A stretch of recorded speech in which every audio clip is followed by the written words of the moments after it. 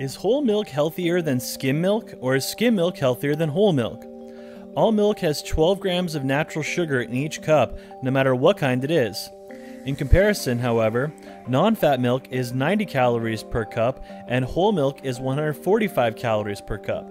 Non fat milk also has 0 grams of fat per cup and whole milk has 8 grams of fat per cup. Therefore, skim milk is healthier because it contains just as many vitamins and nutrients as a glass of whole milk.